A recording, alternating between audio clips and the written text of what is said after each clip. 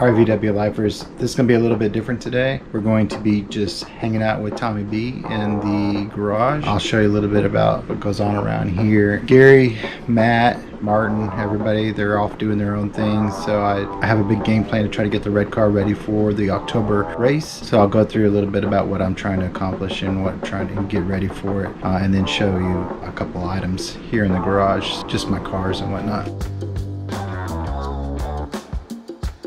So starting off, we have my wife's car, which is a 1968 Savannah Beige Beetle. We call it the wife's car because we originally got it for her. She drove it about four or five times and then just has never driven it since. And then when I sold my last 63 that was slammed, we call it the chum bucket, uh, that car went away and I just sort of took over this one. But when I took over it, I started doing a bunch of stuff to it. Lowered it a little bit in the front with some CB drop spindles, went with gas burner wheels on it, disc brakes up front, drums in the back. Then we took it over to Caney Creek. Caney Creek boys did a really good job painting it, so it turned out really, really well. When it came back, uh, it was too nice for some of the stuff that I had for it, so I ended up buying all new everything for it. I got new window rubber, new interior for the most part, all rubber on the outside, headlights. I have stock bumpers for it. I have a new one up in the rack for the front, but I need one for the rear. I'm looking for a good rear one. Uh, I'm rocking the CSP Nerf bars. I did a TS, the top spec badge for the hood, which is pretty cool. I'll show you what that one looks like. Yeah, yeah. Uh, we went with NOS, some German Hellas up front, some H4s, gas burners. The inside's all relatively stock. We have a Hurst shifter in there with an Autometer tach. Uh, the Autometer tach is painted Savannah beige too. Uh, all new rubber, like I said, looks really good. The main thing that we really stepped up on this one, the current version of this motor is now a fuel injection setup and really what it does is I've got two lines. Uh, one is a feed and one is a return. Uh, the feed comes in here, uh, comes around, goes to the injectors on this fuel rail, goes down, comes around to this side, uh, comes up, goes through, feeds these injectors, comes down, goes up into the regulator.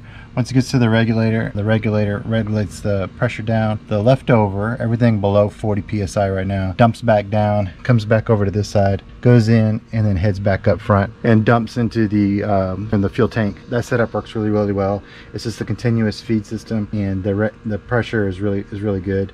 This is just a uh, 40 millimeter throttle body, uh, so there's no fuel coming from here. The fuel comes from the injectors on this side. I'm running an 019 distributor just because I have a whole bunch of them. Down here, we're running a Oberg oil filter, the A1 Sidewinder muffler, which is down here, a sump, got a Kafer bar and a mid mount and some other stuff. I did just step up on the transmission so it's got a 388 with a uh, Super Beetle main shaft and some other goodies inside of it. Uh, overall the motor is relatively small but works really well smooth running now with the, the fuel injection i'm not pro a professional at it but i am certainly learning my way through it and it's been pretty awesome so far with that one so the second one is our 1959 Slam Fjord Blue uh, Beetle. It's rocking the Fuchs uh, color match fender beading, running boards, the three spoke steering wheel. This one's got a vintage speed shifter in it and a package tray I did the fuel tank fuel sending unit so that I could see how much gas I have in it. That's always important to me at least because so many times I ran out of fuel, flipped the switch, and then had another gallon and I was like, ah, oh, I got another gallon and then didn't have no gallon. Uh, and that gallon went through pretty quickly and I, I procrastinate way too much. I need something in my face telling me that I'm out of gas. Overall, this car is pretty stock.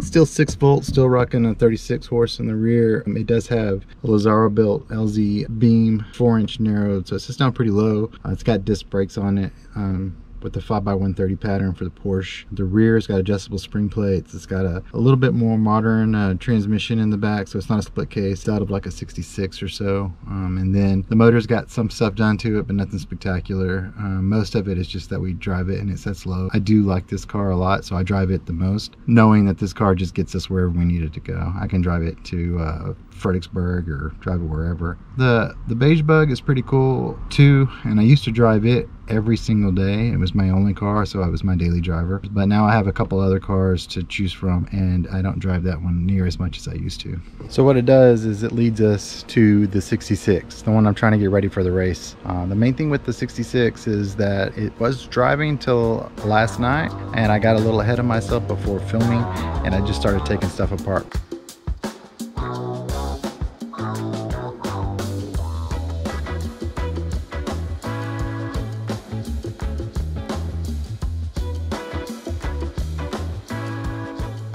So now that we have the motor out of the red car and it's on the engine stand, I'll go over a little bit about what's inside of it. But it's a 70 by 94 motor with IDAs, uh, 5.4 H-beam rods, early model CB heads that are 43 by 37 valved, Potorola rockers, uh, triple spring heads, uh, some JC goodies, MSD.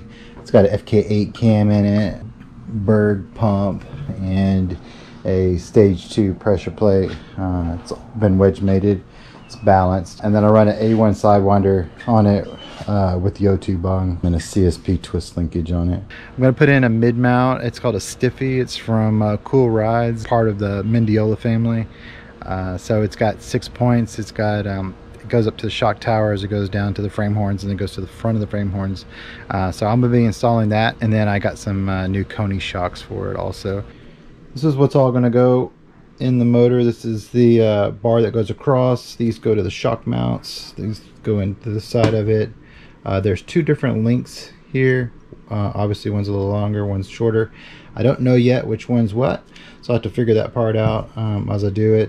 These go up to the front of the frame horns. I bought some stainless nuts and bolts just in case. And then here's my Koni shocks. Today we got our brackets in the main thing that we had to do was the brackets were shipped were for early model and they're straight. And this car being a 66 we needed them to be a little bit different. As you can tell they're quite a bit different. So I called up cool rides and Kevin was super cool about sending me out the right brackets. So I'm going to be installing the bracket in there and the angled one and then shipping him back these other ones. And I did get uh, some Koni shocks. They're, uh, they have four adjustments. I'm gonna start in the middle because I really don't know which version is going to be the better one. Just sort of like this. Uh, get the right bracket now. The angled angled ones. Then we get these rods. There's two different sizes. There's a shorter one and a longer one.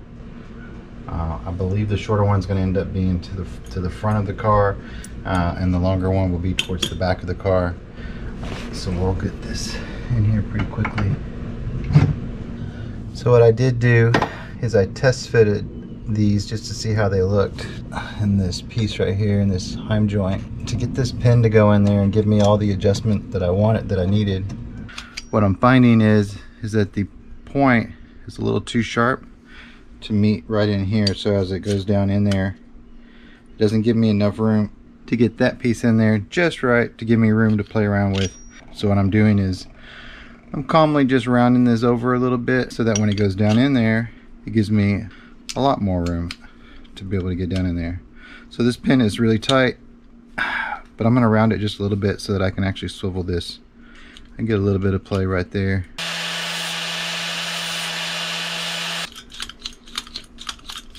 Voila! Love it.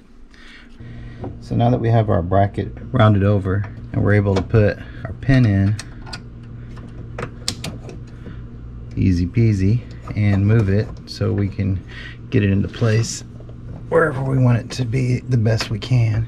The other side is in place sorta, just sort of holding it. And I always want the pin, these type of pins, there's a keep that goes in it, but I want the pin to be on the downside. So if it was to fall off, for one, it'll be behind here, not able to go anywhere. Two, if it was the other side and it did fall off, it could actually slide out and the whole thing can come off altogether. So for now, I think this is the best version of keeping this together. Then twisting this, one's a reverse thread. And so as you twist it, it gets longer and shorter. So right now, I'm just sort of loosely putting everything together. I'll put the long rod in place. I put a rag over the transmission. Even though this uh, the red on here is powder coated, it still can scratch a little bit. All right, so I had to round these edges a little bit too, as you can see, to be able to get it tight enough to get to the pin. I went ahead and rounded this one too. So what I figured out after getting it in there was that it wasn't as easy as we would like it to be. So I didn't take you along for that ride, even though I got it done pretty quickly. So here, I went ahead, put the pin in, and I have the pin on this side for this bracket, but I wanted to make sure that this hole lined up. So to get that closer, I'll turn it which draws it closer, draws it into each other, and gets that hole lined up in the bracket into the frame heart. And I want to do it to where I don't have to put too much effort it. We're almost there. Uh, we'll put the other support rods to the front of the car.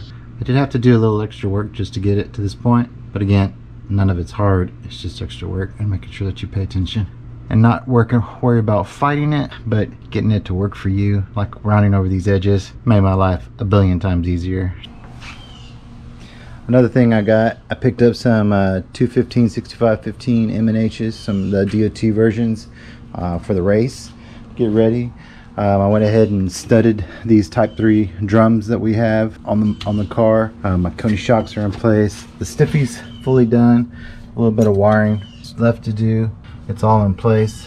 This bracket right here, but I had to cut it out to get it around the brake uh, T. Make sure I could get it there, but the other side didn't have that issue. Um, and then I went with two bolts instead of one bolt that it comes with. Um, so this all is in place. It's all locked down. It's all super nice. I'm pretty excited about it. Um, and then I put the Setrab oil cooler with new lines and everything is back in place. All right, so we got the motor back in. Everything is done. I still have to get the carbs back together. I'm putting in some uh, Berg uh, multi-stepped vents, some 3540 vent Venturis for the IDAs. I got to put the uh, plug wires and do some other wiring. But for the most part, we got the stiffy bar in, we got the motor back in, uh, we got some tires mounted, we did pretty much everything we were looking to get done. As the uh, the guys like to say, uh, if you like what you're seeing, like, subscribe. Always make sure to tell your friends, tell your aunts, maybe tell your uncles. I think that's how uh, Gary always likes to say, tell your aunts, tell your uncles. Make sure you like and subscribe. And uh, if you have any statements to make or any suggestions for me, I'm all ears. I'm always up for learning something. Or if you have any questions, I'm always up for trying to maybe help out also. I'll do my best. I don't know everything, but I certainly know a couple things here and there uh, that may or may not help help you out. Let me know. Thanks, sir.